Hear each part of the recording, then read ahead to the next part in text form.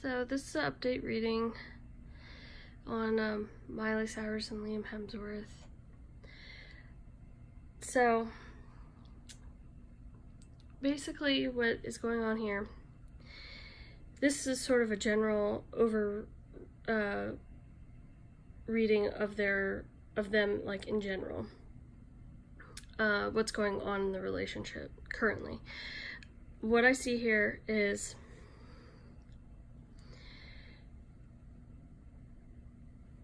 obviously the split, um, there's judgment here, so that is indicating um, request for divorce.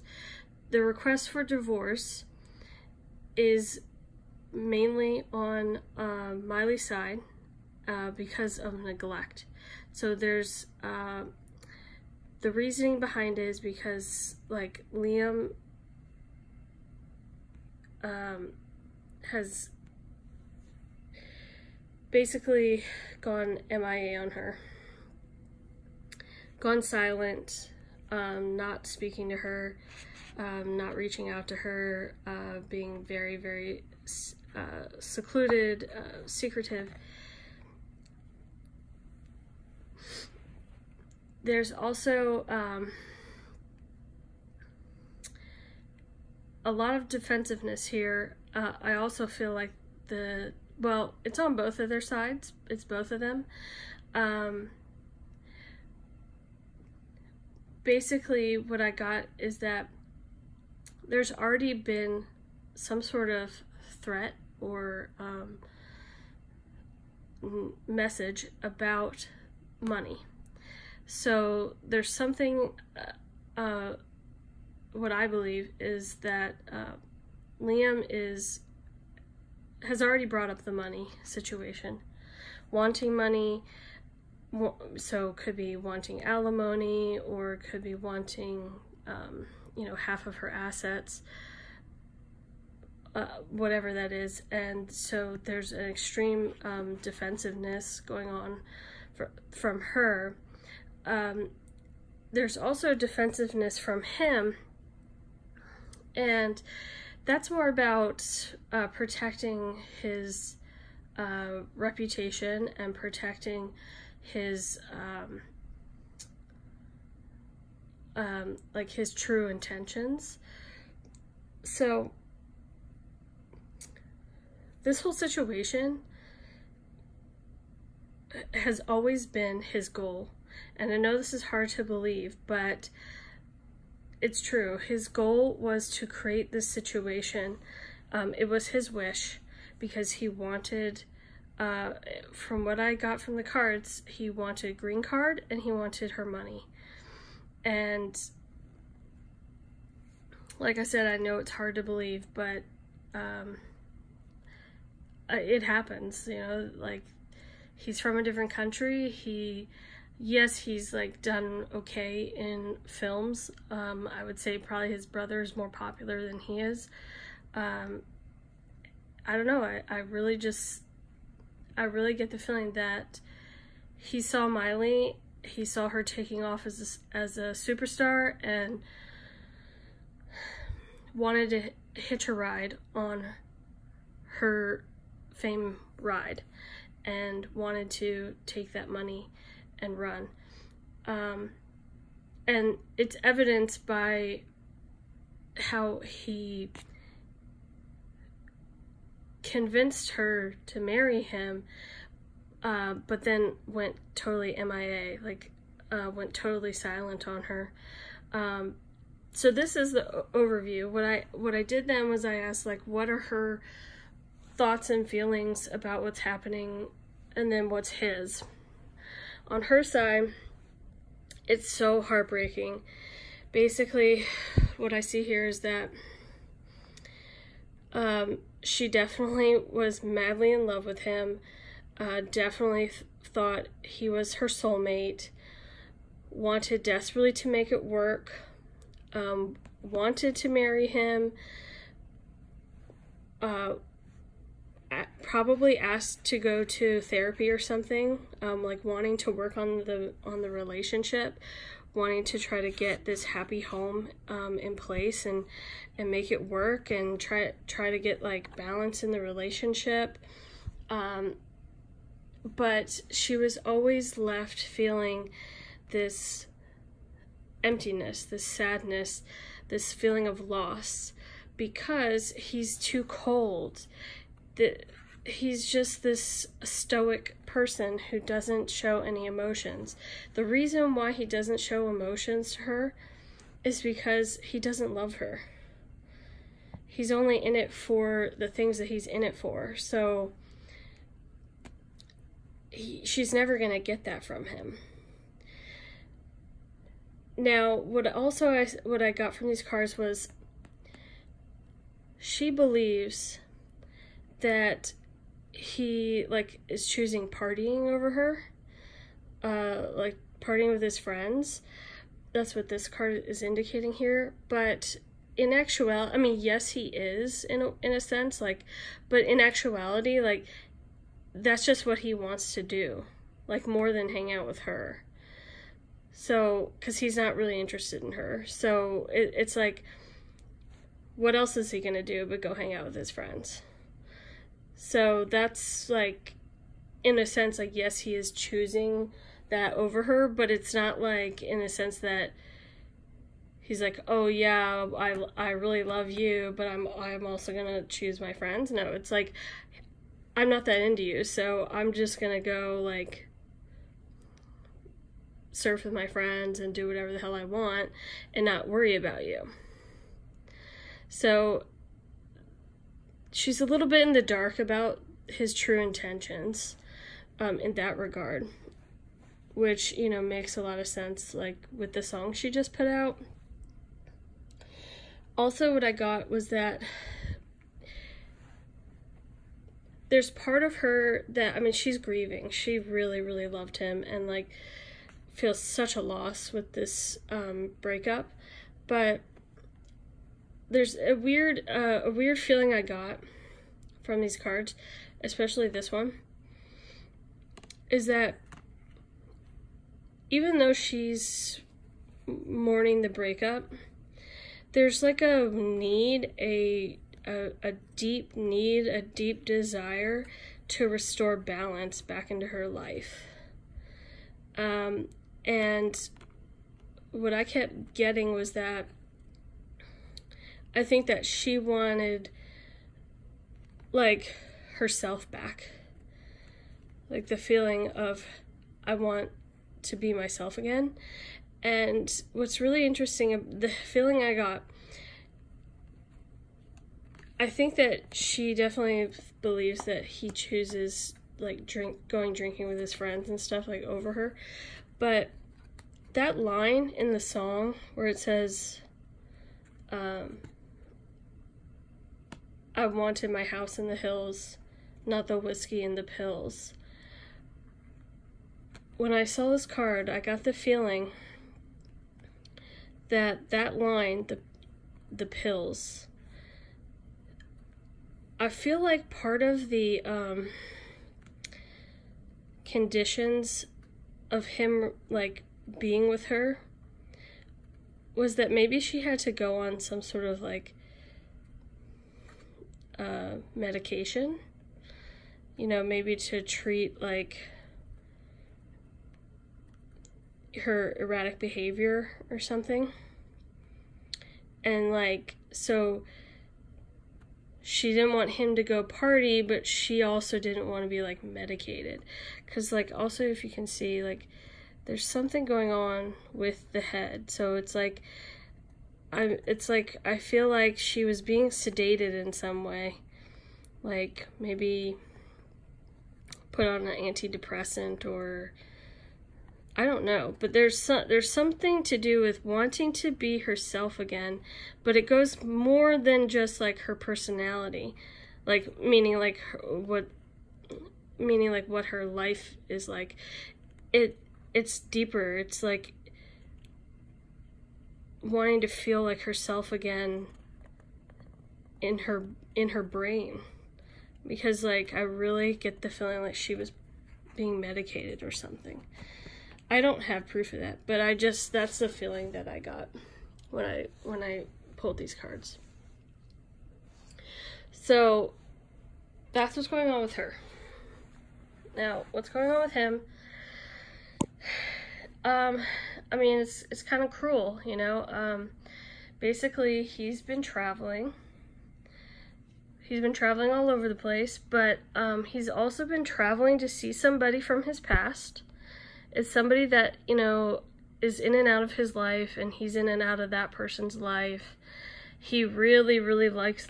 Uh, I would venture to say he loves this woman, um, and he really holds this woman like uh, really high, like on a pedestal. Um, and he there's also something about him not um, deciding where to live. Um, so that's like part of the reason why he like tr- is traveling all the time or something. But there's something about him not knowing where he wants to live. Um, so he just bounces around a lot. Um, and he knows very, very well how much um, he hurts Miley. He knows um, how emotional she is about everything, um, and especially how emotional she is that he's never home. He's never with her. He's always on the move and it like he knows. He just knows what it does to her. Doesn't care. Does not care. Um and uh you know he's always choosing this other person over her.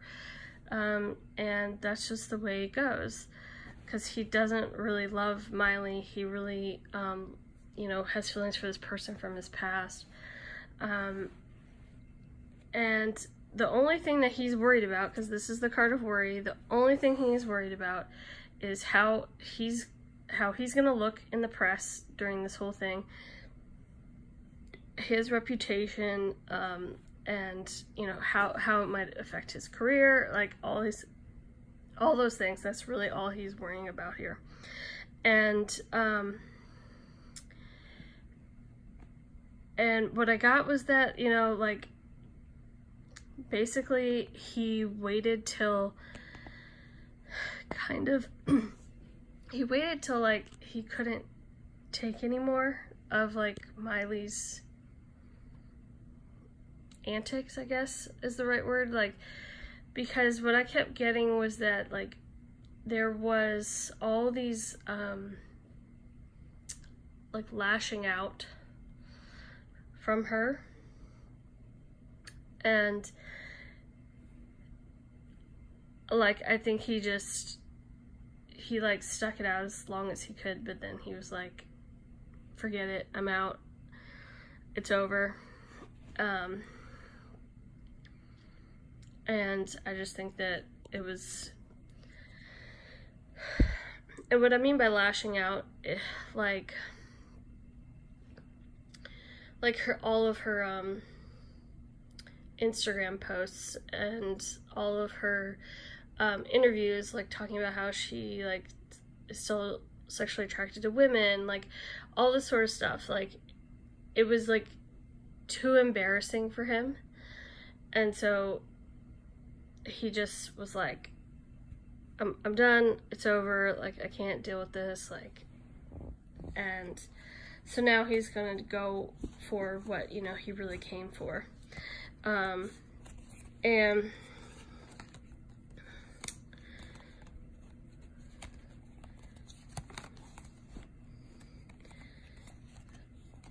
um, trying to find their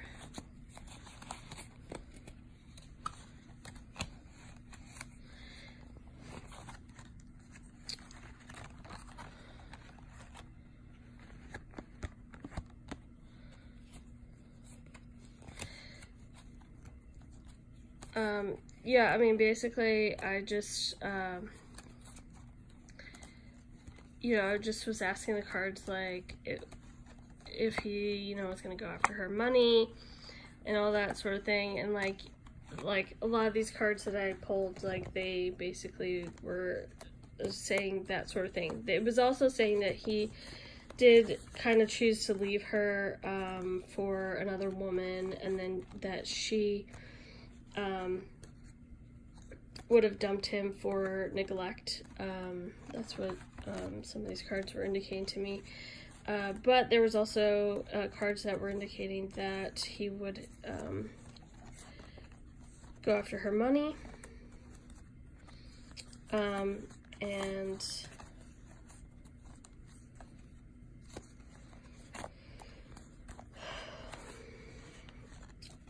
um, so basically it, I mean it's it's all very similar to what I've said before um, I think it's it's gonna get nastier. It like I really feel like he's gonna go after her money. Um, she's gonna get very defensive uh, over her money um, and is going to probably like lash out a lot more. Um, probably through her music or um, through the press or something because um, she really, really felt neglected and um, and you know basically unloved like I think she really just felt like she married a statue or something like and you know he like really put up a good front like he was able to turn it on you know, and make her really feel like she was loved. He was able to turn it on and able to manipulate her into like taking him back and um and marrying him and like all this sort of stuff. Like I think that he's he's probably very very good at making things feel like they're her idea. Because he had an ulterior motive. The ulterior motive is the money and the probably green card. Um, and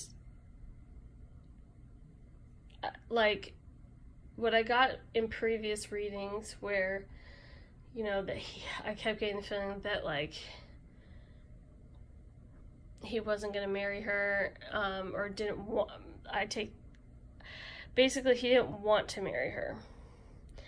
But what i didn't understand you know because like it was interesting to me that he it, it was like he was getting this sort of narcissistic supply from her um, enjoying the attention enjoying like this sort of stuff and like i didn't understand that a little bit because i was like you know, why would he not want to marry her if like he felt like had these feelings for her? But as these readings have gone on, it makes a lot more sense to me now because uh, what it seems to me is that he's very good at laying, laying it on thick, love bombing her, manipulating her, and making her feel like this is my soulmate, he's the one, like so what if like he leaves me you know cheats on me like whatever it's like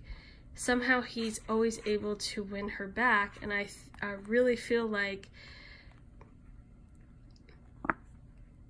he manipulated her into marrying him because it was i i feel like it, it was sort of like he realized it was the last straw like he had to make it happen if he was going to,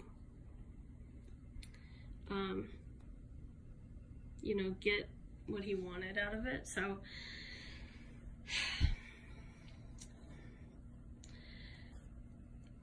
um, yeah, so I mean, like I've said, I, am not a perfect reader. I, I read what, you know, I get from the cards. Um, and, you know, I just feel like now things make a lot more sense to me. Um, basically, I feel like she's probably questioned it for like forever, like their relationship in general, because I feel like she definitely was in love with him, but I feel like she wasn't sure if like she wanted to be in love with like this stoic, unfeeling person um, who would leave her and make her feel neglected and, and hurt and you know and all these things. So I feel like that's probably why there was so much hesitation. But like I said, he's very good at like getting back under her skin. And so like I feel like she was doing the right thing when the first time they broke up and then he manipulated his way back in and then she probably was on the verge of dumping him again and he manipulated her into marrying him so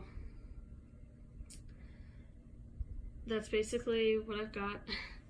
I hope you liked it um, and uh, let me know if you'd like any other readings about any any other couples or or people. Okay thank you